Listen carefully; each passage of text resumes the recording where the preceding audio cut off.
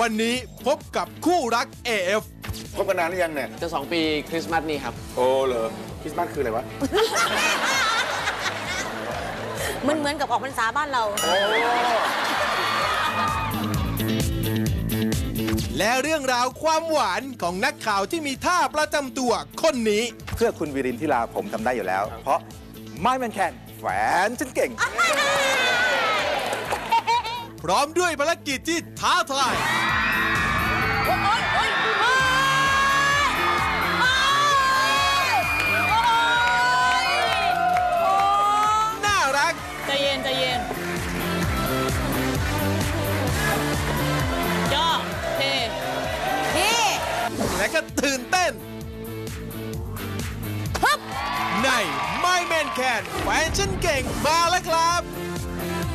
และจากเมื่อวานนี้นะครับที่ทุกคู่รักเนี่ยเทหัวใจบวกกับความเชื่อมั่นว่าแฟนฉันเก่ง เพื่อที่จะให้ออกมาเล่นเกม ซึ่งในเกมแรกครับก็เป็นคุณกรที่จะต้องทรงตัวบนคานสู้กับคู่ต่อสู้ทั้ง 10 คนเลยครับ แต่ก็พลาดไปอย่างน่าเสียดาย ต่อกันด้วยเกมที่ 2 ครับ ซึ่งคุณเก่งเนี่ยจะต้องกินไข่ขาวดิบๆจำนวนถึง 10 ฟองด้วยกันเลยครับ แต่ก็เป็นเรื่องสบายๆสำหรับคุณเก่ง และยังควบต่อด้วยเกมที่ 3 ครับ ซึ่งคุณเก่งเนี่ยจะต้องใช้หลอดดูดผงโกโก้ แต่ด้วยความหนืดและก็ความแห้งครับ จนทำให้คุณเก่งเนี่ยไอแล้วก็สำลักจนทำภารกิจนี้ไม่สำเร็จครับ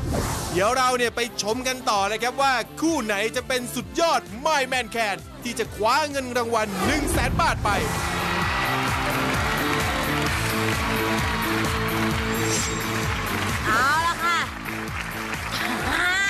หลังจากภารกิจจบก็ถึงกันนิ่งไปเลยนะคะแต่ภารกิจนี้ค่ะ หลังจากเสร็จสิ้นต้องมีหนึ่งคู่กลับบ้านทันทีค่ะ หัวใจใครน้อยก็รีบนะคะ ครับ ภารกิจนี้เกี่ยวกับสิ่งสิ่งนี้ และบุคคลท่านนี้เชิญค่ะ ภารกิจที่ว่านี้จะเป็นอะไรล่ะครับ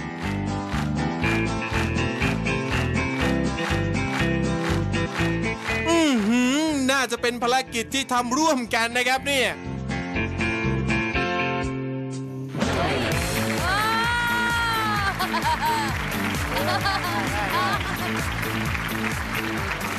เอาละค่ะ อย่างที่เห็นเกมนี้ไม่ได้เล่นคนเดียว คู่คู่เป็นคู่คู่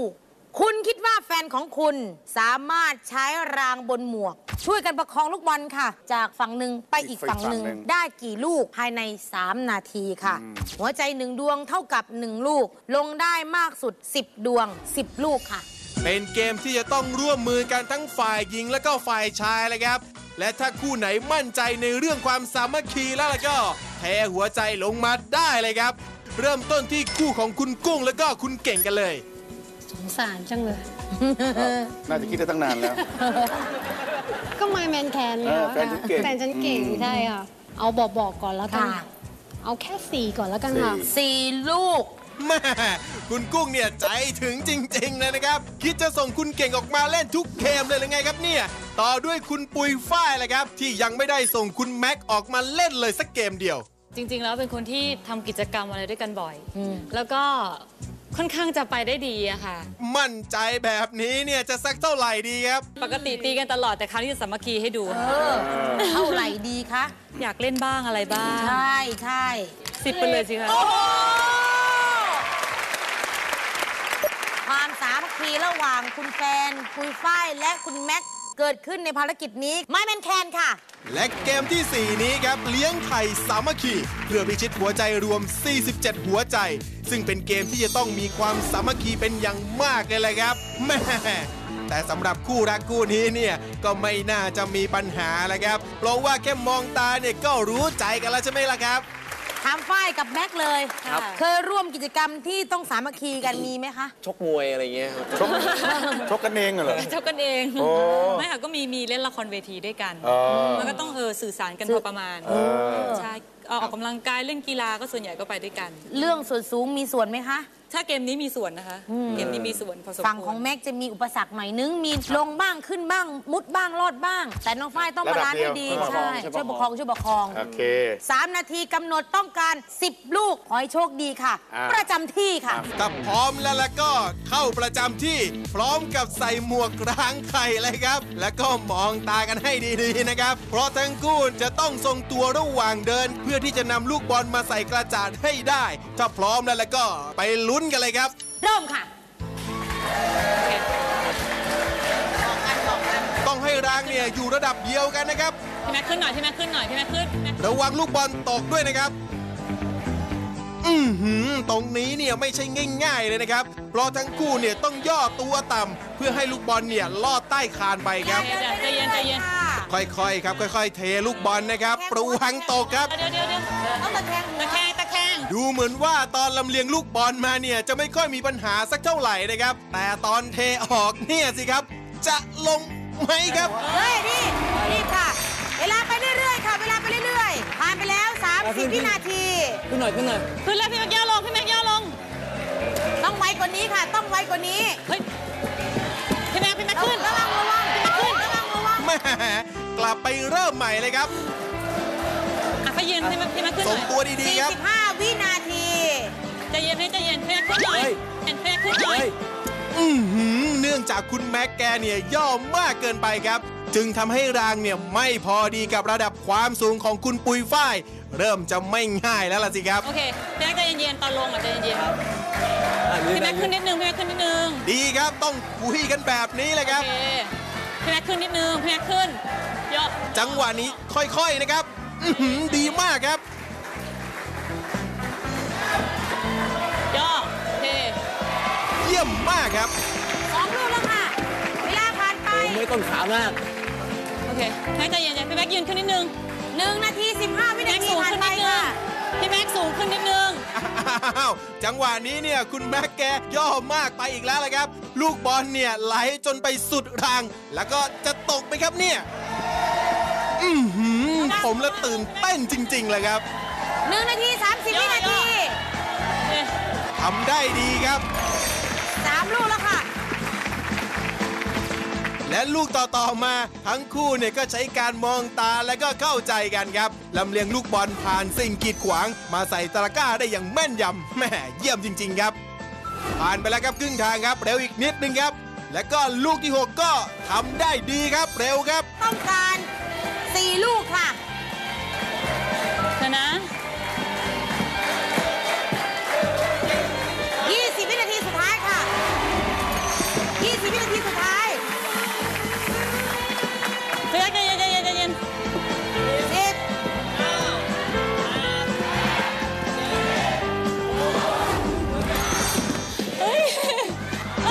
อ้าวพี่หมัมครับ คนเนี่ยยิ่งรีบรีบๆอยู่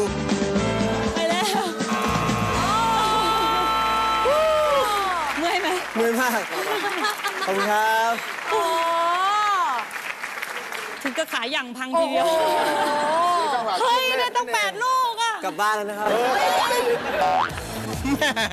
ถึงกับเดินเป๋ไปเลยแหละครับคุณแม็ก ภารกิจนี้ยากตรงไหนน้องฝ้ายพยายามสื่อสารตลอดเลย มัน balance ค่ะเออ เออ balance เพราะว่ามันจะมีตรงช่วงเนี้ยค่ะตรงเนินน่ะที่ว่าพี่แม็กเขาจะย่อลงใช่ไหมคะแต่พอลงมาข้างล่างเขายังย่ออยู่มันต้องยืนขึ้นอะไรอย่างเงี้ยอ๋อคือเวลาเรามองผ่านหมวกมันจะรู้สึกว่าเอ้ยฝั่งนี้อ๋อเขาใช่เอียงแล้วนี่อะไรเวลามองเงี้ย ผ่านหมวกเราจะรู้สึกว่าทางนั้นจะมันเพิ่มขึ้นเออใช่โค้งใช่ขึ้นใช่ อืมได้แปดขาดอีกสองค่ะทำไม่ได้ค่ะ อื้อหือ น่าเสียดายจริง ๆ ครับสำหรับคู่นี้ทำให้คะแนนหัวใจเนี่ยตกไปอยู่ในอันดับสุดท้าย และก็ต้องกลับบ้านไปก่อนเป็นคู่แรกแหละครับ และในเกมต่อไปนี้เนี่ยจะเกี่ยวกับอะไรนั้น เดี๋ยวเราไปชมกันต่อนะครับ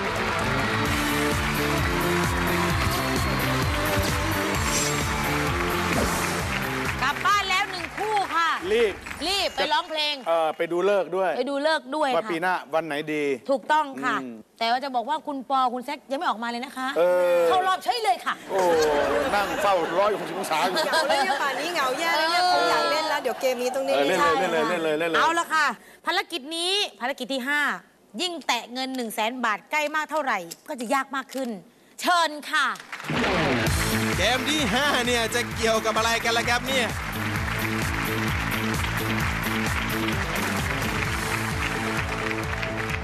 เขาดูค่ะ ขอดูได้ไหมครับ เขาดูสิ่งนี้ค่ะ ก็ก็พูดอันนั้นแหละ แต่สายตาพี่หม่ำมันไม่ได้มาที่นี่ค่ะ มันก็ไปที่นั่นแหละเขามันคิดไปเอง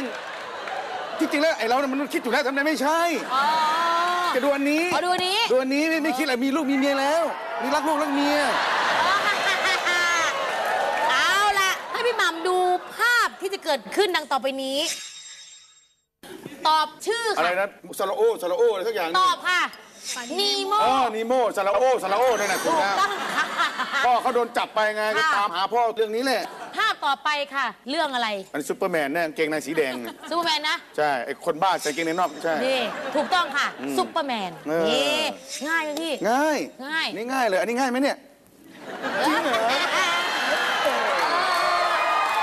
อย่าเบ้าเล่นนะเบ้าเล่นไม่ได้เอาเอาอีกเอาเออเอาอีหลีได้เอาอีหลีได้ แค่ นี้เลยค่ะ คุณคิดว่าแฟนของคุณค่ะ สามารถทายภาพตัวละครในหนัง ได้ถูกต้องกี่ตัว ภายใน 3 นาทีค่ะ จะมีภาพตัวละครในหนังที่ถูกตัดเหลือแบบนั้นแหละค่ะ ทั้งหมดจะมี 40 ภาพไม่แน่ใจสามารถข้ามได้ค่ะ หัวใจหนึ่งดวงเท่ากับตอบถูกหนึ่งข้อ ลงได้มากสุด 30 ดวง 30 ตัวละครค่ะและในเกมนี้ครับ ถ้าคู่ไหนที่ดูหนังบ่อยๆ เนี่ย รับรองว่าสบายเลยแหละครับ ภารกิจนี้เริ่มต้นที่คุณโสค่ะ ต้องบอกจริงว่าคุณสามีนะไม่ดูทีวีเลยโอ้ไม่ดูไม่เคยไม่เคยดูหนังเลย ไม่ค่อยเราไม่ค่อยดูหนังกัน ไม่ค่อยได้ไปไหนเลยหมกแต่อยู่ในบ้าน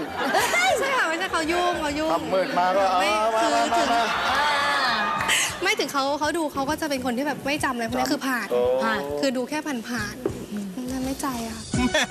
แกคงเห็นว่าคุณกรณ์เนี่ยไม่ชอบดูหนัง คุณโสเนี่ยรู้ใจสามีจริง ๆ เลยละครับ ต่อด้วยคุณปอครับที่ยังไม่ได้ส่งคุณแซคเนี่ยให้ออกมาเล่นสักเกมเดียวเลยครับ พี่เขาเป็นคนชอบดูหนังอ่าชอบดูตลอดเวลาที่ว่างนะคะเพราะฉะนั้นเนี่ยคิดว่าเขาต้องทำได้แน่นอนในเกมนี้นะคะเพราะฉะนั้นเดี๋ยวปอลองเอาพอเพียงก่อนดีกว่านะพอเพียงก่อนเอาพอค่ะเพียงนาทีละสองดีกว่านะคะค่ะเอาหกแล้วกันนะคะหกใจหกหกใจภาพหกใจอ้าว คุณกุ้งค่ะภาพยนตร์ที่เรามาหรือตัวละครที่เรามาก็ดัง ๆ ทั้งนั้นนะคะหกแล้วค่ะ โอ้โหดูท่าเกมนี้เนี่ยคุณเก่งอยากจะออกมาเล่นนะครับ หลังจากที่พักไปแค่เกมเดียว คู่นี้เนี่ยใจถึงจริง ๆ ครับ เท่าไหร่ดีครับ งั้นเพิ่มมาอีกดวงนึงแล้วกันค่ะอ่า เป็นเจ็ดแล้วกันนะ เจ็ดอะเจ็ดเจ็ดเจ็ด เป็นเจ็ด คุณปอค่ะอะอะงั้นก็ขยับเอาเป็นแปดแล้วกันอะแปดอ้าวคุณปอเนี่ยไม่ยอมแพ้ครับ คงอยากจะให้คุณแซคเนี่ยออกมาโชว์ตัวบ้าง แบบนี้คุณกุ้งจะว่ายังไงล่ะครับ ไม่ค่ะพี่โอ้ยอไม่มใจดีกว่า ไม่ใจนะคะ ถ้าไม่ใจโอ้โหหัวน้อยน้อยมากเลยแปดเลย เขารู้ว่าสามีเขาเป็นคนไม่เก่งเรื่องภาพยนตร์ไงใช่ค่ะ แต่ถ้าอย่างนี้เนี่ยหมูเลยเพราะเขาดูหนังปลบ่ออดย ภัยไว้ก่อนเออมันไม่แน่นะคะ กลัวจะแบบพี่บัวดูดโอวันตินขึ้นใหญ่เออเหมือนเลจะยง่ายแต่ก็ไม่ง่ายใช่ไหมคะใช่แต่อันเนี้ยเหมือนจะง่ายเออง่ายค่ะเออภารกิจนี้ง่ายจริง ๆ ค่ะ 3 นาทีต้องตอบให้ถูก 8 ตัวละครโอ้ยง่ายเลย โอ้ง่ายเลยค่ะ ออกมาแล้วสามร้อยหกสิบเออออกมาแล้ว อ๋อหนึ่งสิบของเขาว่า ไม่เป็นแคนค่ะ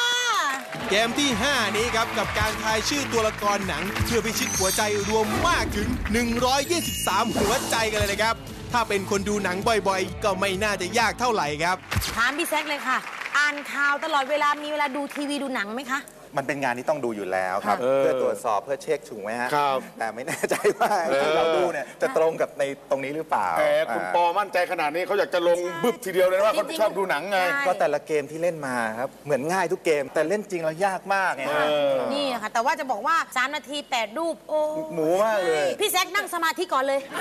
แล้วค่อยตอบยังทันเลยค่ะเออถ้าเอาเฉพาะตัวหลักๆของเรื่องมาบอมั่นใจว่าพี่เขาจะจำได้แต่ครับกลัวว่าจะเอาอีกอีกตัวหนึ่งมาหรือเปล่าของแต่จะบอกว่าเกมมนี้นะคะตัวหลักๆ แล้วเด่นๆทั้งนั้นค่ะงั้นจุดต้องเด่นด้วยค่ะ ต้องลองดูครัต้องลองดูนะเพื่อคะภรรยาสุดที่รักเนี่ยงั้นคุณปอไปนั่งลุ้นเลยบอนั่งลุ้นเลยนั่งนะคะลุ้นเลยนั่งลุ้นเลย ถ้าพร้อมแล้วแล้วก็เข้าประจำที่ครับ แต่ ดูเหมือนว่าคุณแซคเนี่ยจะมีอะไรจะพูดนะครับ ที่อยากจะบอกก็คือว่าเพื่อคุณวิรินทิราผมทำได้อยู่แล้ว เพราะไม่มันแคนแฟนฉันเก่งถ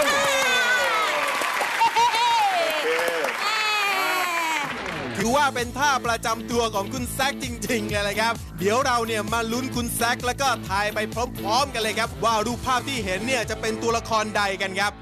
เริ่มค่ะ อือหือเห็นค้อนยักษ์มาแบบนี้เนี่ยก็น่าจะคุ้นๆกันอยู่นะครับ ว่าเป็นตัวละครใด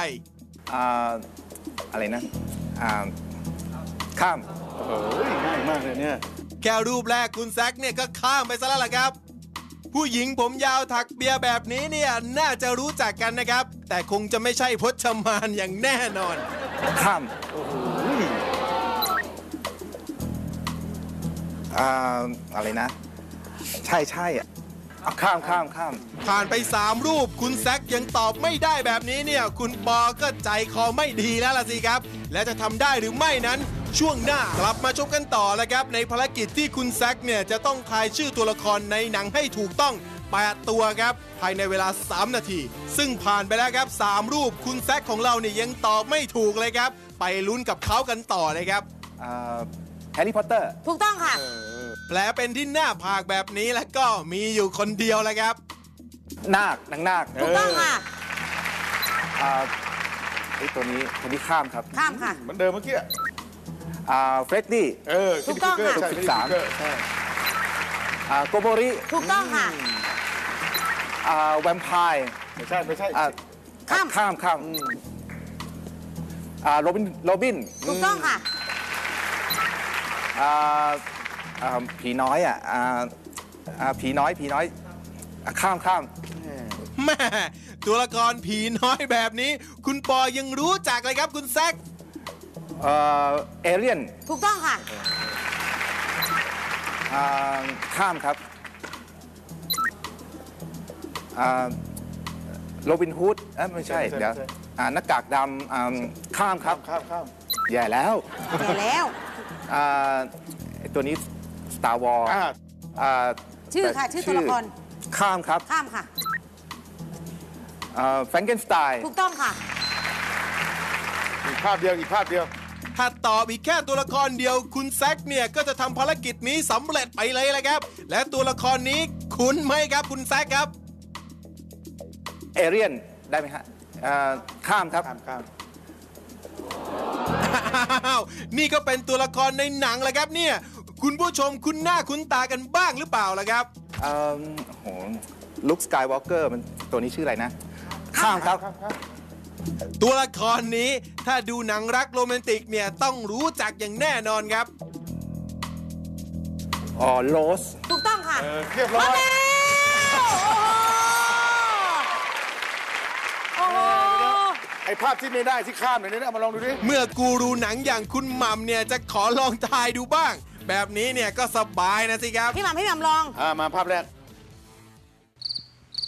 อ้าวทำไมนิ่งไปแบบนั้นแหละครับพี่หม่ำอันนี้ก็นั่นแหละในในไอ้ไอ้หนังสตาร์บอลนั่นแหละหน้า Star Wars นั่นแหละแต่ผมจำชื่อไม่ได้ชูบาก้าเอออ่าแหม่ตัวที่สองเนี่ยกูรูอย่างพี่หม่ำถึงกับชะเง้อคอดูแบบมึนๆเลยแหละครับ อันนี้ Predator เอออ๋อพีเตอร์ โอ้ คือพอเวลามันบีบทำให้เราแบบว่านึกไม่ออกทั้งที่แบบว่ามันเห็นอยู่ใช่ไงครับ ค่ะ บางทีก็ติดอยู่ตรงปากนี่แหละ ใช่แต่ใช่ จะบอกว่าพี่หม่ำเขามีความรู้เรื่องหนังเยอะที่เปิดมาแรกคือทอเลยที่มันใช่ใส่ไฟใช่ฟ้าใช่ใช่ ทอทอหนูใช่ว่ารู้หนูว่ารู้ เหมือนตอนอ่านข่าว 3 นาทีที่ทำรายการก็เหมือนกันครับมันเวลามันจะบีบเออเราเลยต้องแบบเป๊ะเพเป๊ะราะมันเป๊ะมันสดไง ใช่ ตอบได้ถือว่าเก่งมากค่ะ เพราะว่าบางตัวละครหนูก็ไม่รู้ เพราะฉะนั้นแล้วภารกิจนี้นะคะแหม่หมูทำได้ ค่ะ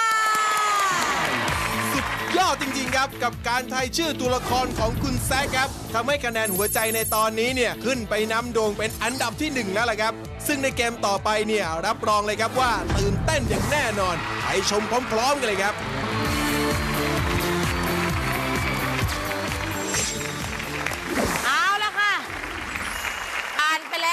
ารกิจค่ะ เย็นไหมคะ โอ้โหนิ่ไม่งแมๆเลนยแคนค่ะไม่แมนแคนค่ะ เย็นได้ดีไปเลย นิ่งๆไปเลยค่ะ ออกทีเดียวได้เรื่องเลย ได้ของกองกลางไปด้วยเออ78 ใจเลยค่ะ โอ้โห ภารกิจนี้ภารกิจที่ 6 ค่ะ หลังจากเสร็จสิ้นภารกิจนี้กลับบ้านทันทีหนึ่งคู่ เช่นเคยค่ะ เกี่ยวกับสิ่งสิ่งนี้ค่ะ เชิญค่ะ และภารกิจที่ 6 นี้ครับ รับรองเลยว่าหวาดเสียวอย่างแน่นอนผู้เรียน ครูใหญ่ไหม แล้วแต่ใช่ไหม ฉีกออกดูเองคุณโสคิดว่าเกี่ยวกับอะไรคะผ่าทุเรียนไหมคะผ่าทุเรียนประมาณนั้นอาจจะจับเวลาว่าอะได้กี่ภูอะไรอย่างงี้ป่ะเออ คิดว่าอย่างนั้นไม่ง่ายไปไหมคะ เดี๋ยวมันไม่ใช่ My Man Can คงต้องแกะแล้วต้องรับทานด้วยหรือเปล่า แต่ว่าอาจจะไม่ทั้งหมดหรือเปล่าอาจจะแต่คนบางคนแกะไม่เป็นนะ ใช่ค่ะนี่ผมเคยแกะมาทั้งชีวิตแล้วเละหมดเลยไปโดนเนื้อมันอะเนื้อเขา แต่มันก็ไม่แน่ถ้ามีเทคนิคนี่แป๊บเดียวเหมือนกันใช่แต่ทุเรียนบ้านผมแปลกมาก แปลกยังไงคะ เป็นทุเรียนไม่มีต้นครับเฮ้ย แล้วยังไงผลไม้ออกมา มันต้องมีต้นมีใบมีใช่ไง ทำไมไม่มีต้นคะซื้อที่ตลาดก็เขาไม่ได้เอาต้นมาครับถ้าถ้าไปซื้อที่สวนเนี่ยมันจะมีต้นมันจะมีต้นใช่ครับ ที่สำคัญถ้าซื้อแถวชลบุรีบางแสนมันใส่ซองให้ด้วย เออใช่ใช่ เป็นทุเรียนทอด เออใช่ใช่เออโอเค เออเราไม่น่าฟังเลยเออเชิญค่ะอาจจะเออ ขอบคุณค่ะระวังระวังนะจ๊ะ เกี่ยวกับทุเรียนแน่นอนค่ะ แต่ไม่ได้กิน คุณคิดว่าแฟนของคุณสามารถรับทุเรียนได้กี่ลูกจากทั้งหมด 15 ลูกค่ะหนึ่งดวงเท่ากับรับได้หนึ่งลูก ลงได้มากสุด 15 ใจ 15 ลูกค่ะ โอ้โห เกมนี้เนี่ยนอกจากจะต้องอาศัยความแม่นยำแล้วครับ ยังต้องใจกล้าอีกด้วย ให้มารับทุเรียนที่มีหน้ำเต็มไปบดแบบนี้เนี่ยหนุ่มๆงานเข้ากันแล้วล่ะครับ ภารกิจนี้เริ่มต้นที่คุณปอค่ะ การรับทุเรียนเนี่ยมันจะง่ายมากสำหรับคนที่เขาทำอยู่เป็นประจเออำเป็นทักษะเป็นความเชี่ยวชาญเออเฉพาะใช่ตัวใช่พี่แซกเนี่ยถนัดมากเลยและเชี่ยวชาญมากกับการทำท่าแบบนี้ แต่การรับทุเรียนอาจจะไม่เออคิดว่าไม่น่า ไม่ใจดีกว่า ไม่ใจโอ้เย็นแล้วอะนำอยู่แบบนี้เนี่ยไม่ออกมาก็ไม่เสียหายนะครับ ส่วนคู่ที่ยังมีโอกาสตกรอบอยู่แล้วก็จะลุยเลยดีไหมครับ เอาบอกๆไปก่อนบแล้อวกกันไปก่อนค่ะหกลูกหกลูกอืม หกลูกหกใจมาที่คุณโสค่ะ ค่ะ ปกติเอาหน้ารับเลย เอ้ยว่าหน้าปุกหมดเลย ต้องสู้สิคะ ค่ะ มาถึงตรงนี้ละไม่สู้ก็ไม่ได้เนาะค่ะอันนั้นเท่าไหร่นะคะหกหกค่ะอะเจ็ดละกัน เจ็ดค่ะนี่คุณกุ้งค่ะ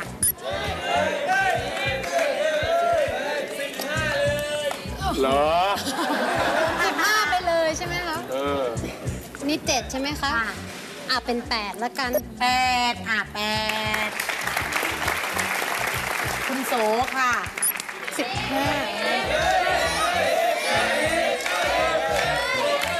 เอาอีกหน่อยละกันเป็นเก้าค่ะเก้าอ่าอะสิบแล้วกันค่ะสิบเอา ค่ะสิบเอ็ดมาสิบเอ็ดอ่าเฉพาะตอนนี้ชิงกันอยู่สองคู่นี่นะคะครับคุณปอนี่นั่งยิ้มเลยนะคะยิ้มเลยยิ้มให้กำลังใจยิ้มให้กำลังใจ นั่นสิบเอ็ดใช่ไหมคะค่ะอะสิบสองสิบสองดูคุณกรณ์เนี่ย อยากจะเล่นขนาดนี้ก็ไม่ต้องคิดแล้วล่ะครับ คุณโสครับ ใส่เต็มมาเลยครับ คือปกติเนี่ย ยนมาเขาก็ต้องรับ ใช่ แต่นี่มันเป็นลูกทุเรียนเนาะเออเออเออแต่อยากใหญ่เขาเล่นอะสิบห้าเลยค่ะ โอ้ยโอ้โยนทุเรียนผ่านเน็ตมาสูง 3 เมตร ต้องรับให้ได้ ห้ามพลาดเลยค่ะ 15 ลูก เป็นกำลังใจให้นะคะ แต่ขออย่างเดียวคือใช้มือรับเท่านั้นนะคะ ครับ พร้อมคุณกรณ์ไม้แมนแคนค่ะ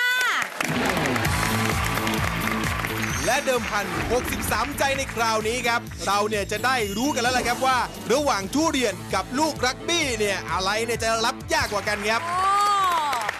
นี่จะบอกว่าจำลองสวนมาเลยค่ะ อ่า พร้อมแล้วนี่เจ้าของทุเรียนมาเจ้าของสวนมาแล้ว เจ้าของสวนมาแล้ว เออ คุณโสและคุณกรณ์ถ้าคุณทำได้ภารกิจนี้ คุณนั่นแหละเข้ารอบ เข้ารอบเลย แต่ถ้าคุณทำไม่ได้รู้ไหมคะ กลับบ้านไปเลยนะเขานั่นแหละกลับบ้านเลยค่ะ เออ แม่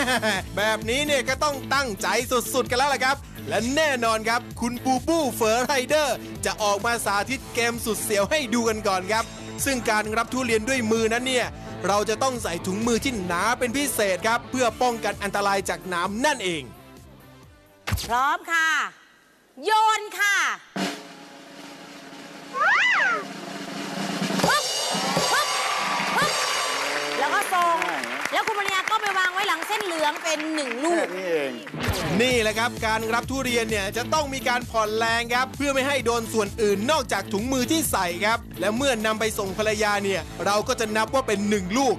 คราวนี้ก็ถึงตาของคุณกรณ์บ้างนั่นแหละครับ หวังว่าคงจะไม่ยากเกินไปนะครับ ลักบี้ที่เล่นกีฬาของโปรดนี่ถือว่าใช้ได้ไหมคะ ได้ครับนี่อาจจะมีแหลมขึ้นมานิดหน่อยเออลูกลักบี้ไม่มี อันนี้มีสองแหลม มีสองแหลม มีสองแหลม อันนี้เออโอ้โหไม่รู้กี่แหลมนี่เพียบเลย ขอให้คุณกรณ์โชคดี 15 ลูกทำได้เข้ารอบทำไม่ได้กลับบ้านเอง พร้อม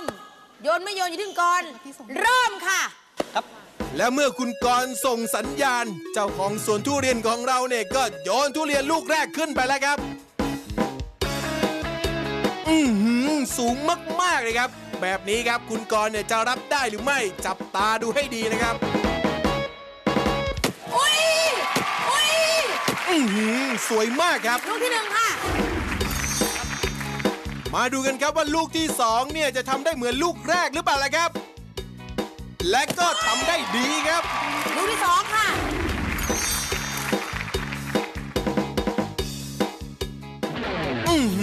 ลูกนี้เนี่ยเฉียงไปทางขวามือครับ แบบนี้เนี่ยคุณกรจะตามไปรับทันหรือไม่ ช่วงหน้าห้ามพลาด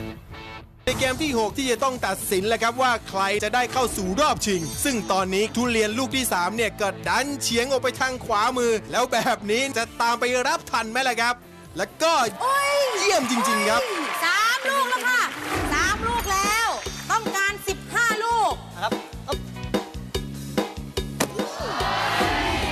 แน่นดีเหลือเกิน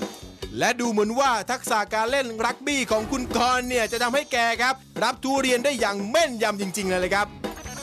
แต่วิธีที่คุณกรณ์ใช้ในการรับนั้นนะครับ เป็นการรับแบบเข้าหน้าอก ซึ่งถ้าเป็นลูกรักบี้เนี่ยก็คงจะไม่มีปัญหาเท่าไหร่นะครับแต่เจอลูกทุเรียนที่ทั้งหนักแล้วก็มีน้ำเต็มใบหมดแบบนี้ท่าทางเนี่ยจะแน่นอกยิ่งกว่าน้องใบเตยอีกเลยครับ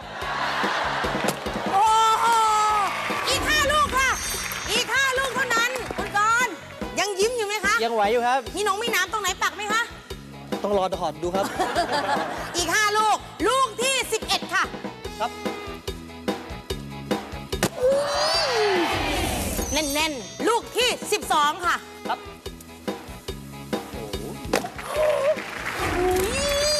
อื้อหือคุณกรณ์ครับ รับแต่ละลูกเนี่ยไม่ได้เป็นห่วงสุขภาพอกของตัวเองเลยนะครับ เข้าซองทุกลูกแบบนี้ คุณกุ้งกับคุณเก่งเนี่ยก็เครียดแล้วล่ะครับ ที่ 13เนี่ยก็ยังเยี่ยมอยู่ครับเหลือแค่ 2 ลูกเท่านั้นเอง อือหือทุเรียนเนี่ยเป๋ไปทางซ้ายห่างมากเลยครับลูกนี้ครับ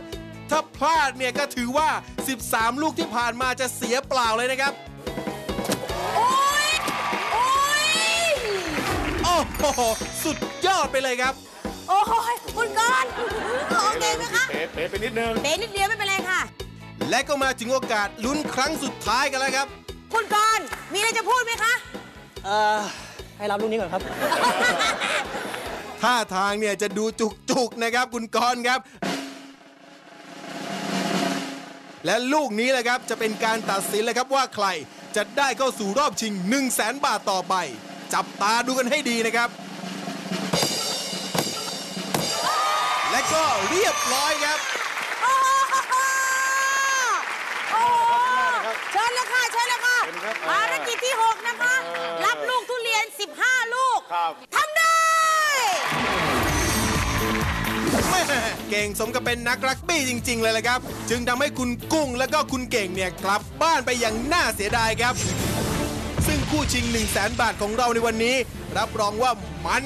360 องศาแน่นอน ถ้าพร้อมแล้วแล้วก็ไปลุยกันต่อเลยครับ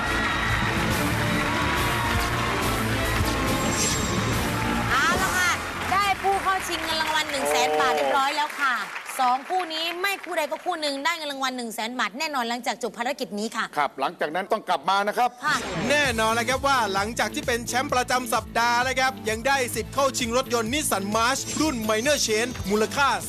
478,000 บาทอีกด้วยเลยครับ สองเบิ้ลเลยค่ะ เออ ได้เงินด้วยแล้วก็ชิงรถด้วยนะคะ ภารกิจสุดท้ายนี้ค่ะ หยิบเงิน 1 0 0 0 0แสนบาทแล้วนะคะ จะยากแค่ไหนไปชมกันค่ะ ภารกิจนี้เนี่ยได้ลุ้นกันอย่างแน่นอนครับ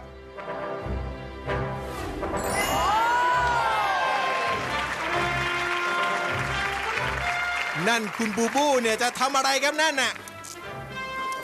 ท่าทางเนี่ยจะพยายามข้ามสะพานนะครับ อย่าสันอย่าสันแหมหวาดเสียวจริง ๆ ครับ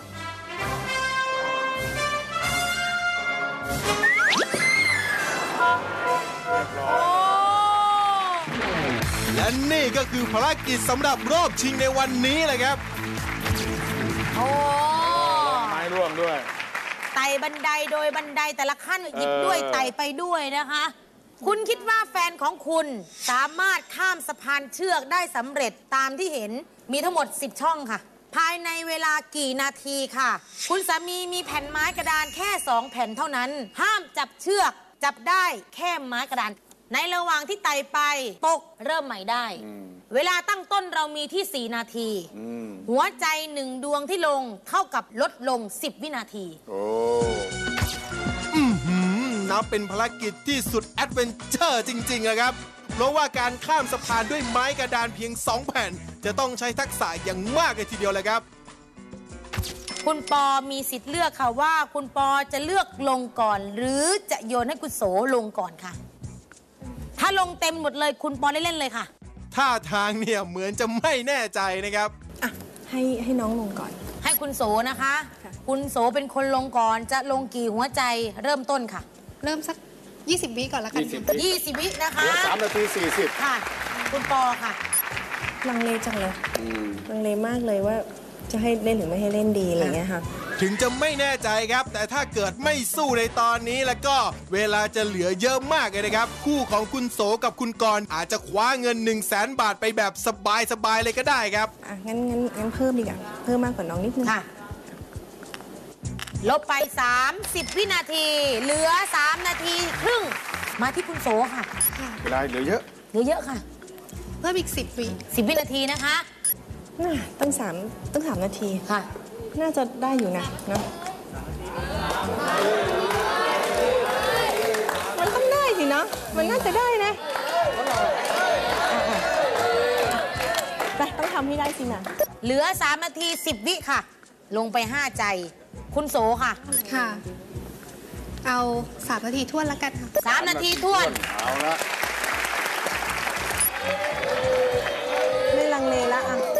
อ่าเหลืสอองนาทีห้าสิบ2นาที50 2นาที40ค่ะ2นาที40ค่ะ โอ้โห เล่นสู้กันแบบไม่ถอยแบบนี้ คุณปอเนี่ยถึงกับสะดุ้งเลยครับ จะสู้ต่อไหมครับ ดวลกันเลยละกันสนุกดีอะ2นาที30ค่ะ ไปค่ะ ไป ไปต่อ2นาที20วิค่ะ ท่าทางครับคุณโสเนี่ยจะมั่นใจจริงๆเลยเลยครับ ใส่มาไม่ยั้งแบบนี้ ต่างจากคุณปอครับ ที่เริ่มจะไม่แน่ใจเท่าไหร่แล้วล่ะครับ ไม่ละค่ะ ไม่ใจเวลาตอนนี้อยู่ที่ 2 นาที 20 วินาทีลนปุ๊บถ้าเวลาหมดจบเลย ครับถ้าเวลายังเหลือเริ่มเริ่มต้นใหม่ ใหม่ได้นะคะ ถ้าคุณทำได้คุณโสคุณกรรับไปเลย1 0 0 0 0แบาท ครับ ถ้าทำภารกิจนี้ไม่สำเร็จตกไปที่คุณแซคและคุณปอคค่ะ รับส้มหล่นไปเลย ตื่นเต้นมาก ขอให้โชคดีนะคะคุณกรณ์ไม่เป็นแทนค่ะ และสะพานที่จะนำไปสู่เงิน 1 0 0 0 0แสนบาทเนี่ย ก็รออยู่ข้างหน้าแล้วละครับ ซึ่งก็เป็นอีกครั้งครับที่คุณกรณ์เนี่ยได้ออกมาทำภารกิจแล้วครับ เราเนี่ยมาลุ้นกันเลยเลยครับว่า คุณกรณ์จะสามารถใช้ไม้กระดานเพียงแค่ 2 แผ่นข้ามสะพาน 10 ขั้นนี้ได้สำเร็จหรือไม่ เอาละค่ะ ในระหว่างที่คุณกรณ์ค่ะไต่บันไดไม้ไปค่ะ คุณกรณ์หล่นเริ่มใหม่ได้ เพราะฉะนั้นแล้วต้องทำให้สำเร็จนะคะอืมถ้าไม่สำเร็จนะคะลดหมูคว่ำนะคะ ไปที่คุณแซกกับคุณปอแน่นอนเลย เอาละค่ะเออ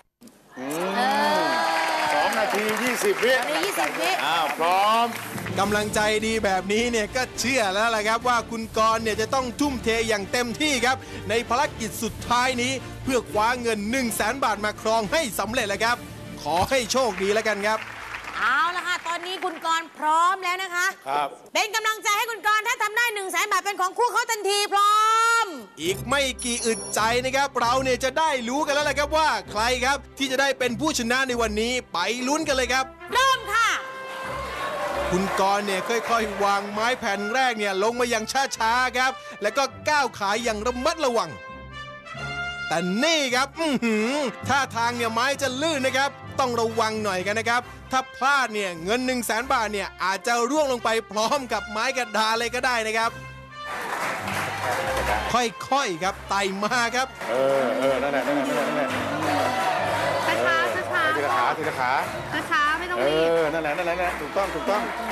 ช้าเออ ช้าเออ มาถึงขั้นที่ 4 แล้วครับ แต่ก็ยังไม่แน่นะครับว่าจะทำได้สำเร็จหรือไม่ครับ กลับมาลุ้นกันต่อช่วงหน้า มีเฮแน่นอนครับ กลับมาลุ้นกันต่อเลยครับว่าใครจะคว้าเงิน 1 0 0 0 0แบาทไปครองได้สำเร็จเลยครับ ซึ่งตอนนี้คุณกรณ์ก็ข้ามสะพานมาอย่างช้าๆครับ จนมาถึงขั้นทีสี่4 แล้วล่ะครับ เบาๆเบาๆไปเรื่อยไปเรื่อย ยังเนียบอยู่ อีกขาหนึ่งเซนเตอร์ไปด้เววยลาผ่านไปเรื่อยๆค่ะ คุณกรณ์เนี่ยท่าทางจะเกรงมากเลยนะครับ เอ้ยไม่ต้องรีบพ่อเวลาเหลือๆเลย เวลาเหลือเหลือเวลา1นาที 30 วินาที โอ้ยมาถึงครึ่งแล้วเหลือทันเหลือเฟือ อือหือพอมาถึงกลางสะพานเนี่ยก็เริ่มสั่นแล้วครับ ใจเย็นนะใจเย็นไม่ต้องรีบค่อยๆพ่อมีเวลาเหลือเหลือเฟือมากเจังหวะนี้ครับสะพานเนี่ยสั่นมากครับ ระวังให้ดีนะครับ ถ้าร่วงลงไปตอนนี้เนี่ยกลับไปเริ่มใหม่อาจจะไม่ทันเวลาก็ได้ครับๆช้าๆช้าๆไม่ต้องรีบยังครับยังไปต่อได้ครับช้าๆไม่ต้องรีบช้าๆพ่อมาถึงขั้นที่ 8 เนี่ยสะพานชันมากเลยครับเหลือเวลาเท่าไหร่แล้วนั่นแหละนั่นแหละถูกแล้วถูกแล้วถูกแล้วถูกแล้วเออเหลือเวลา1นาทีค่ะโอ้ยชิวแล้วพ่อหนึ่งนาทีทันเหลือๆทัน เหลือๆเลยอะทานทานนั่นแหละเอทันเหลืออๆเลยช้าๆช้าเหลือ 50 วินาทีค่ะ มาถึง2ขั้นสุดท้ายนะครับ ถ้าไม่ล่วงลงมาในตอนนี้เนี่ยมีลุ้นอย่างแน่นอนเลยครับ แต่ต้องระวังมากๆนะครับคุณกรณ์ ๆช้าๆพ่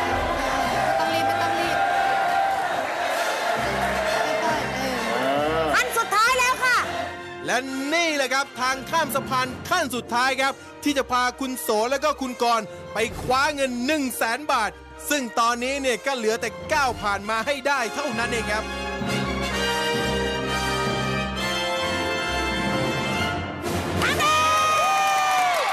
เชิญเลยค่ะเชิญเลยค่ะเชิญเลยค่ะโอ้โหทำเวลาดีด้วย โอ้โห เออเอา เชิญค่ะเชิญค่ะเชิญค่ะ เลย โอ้โห ผิว เฉียดเลยเขาไปแบบช้าๆ สติดีเนิเนิบบๆเนิเนิบบๆจังหวะดีเออสังเกตไหมคะ ไม่ล่วงกำลังใจดีแบบนี้ ยินดีด้วย1นึ่งแสนรับไปเลยแม่แต่คุณปอคุณแซคเออคะคิดว่าคุณแซคพอทำได้ไหมคะมันก็น่าจะลองนะอะไรอย่างเงี้ยแต่แต่เชื่อว่าภรรยาเนี่ยจะทราบว่าเราเป็นยังไงแต่จะบอกว่าเป็นคู่สามีภรรยาอีกคู่หนึ่ง ที่คุณสามีเล่นเยอะมาก เออ เล่นภารกิจเยอะ แทบจะทุกรอบเลย ใช่ค่ะ โอ้เออ วันนี้มาแมนแคนจริงๆสู้จริง ๆ วันนี้ อะฮ่าฮ่าดีๆ ได้เงินได้รถกับรายการ My Man Can แฟชั่นเก่ง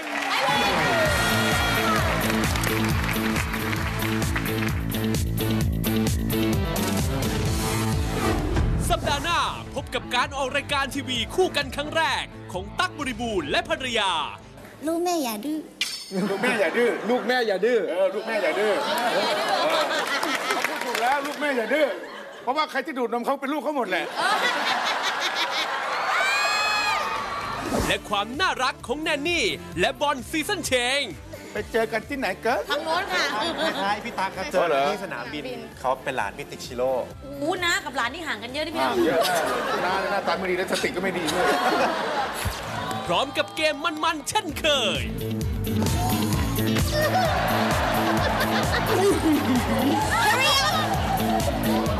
ละใกล้ความจริงแล้วใกล้ความจริงแล้วเร็วเร็วเร็วเร็วเร็วเร็วเร็วเร็วเร็วได้ได้ได้ได้อย่าพี่ ไปนู่นแล้วนี่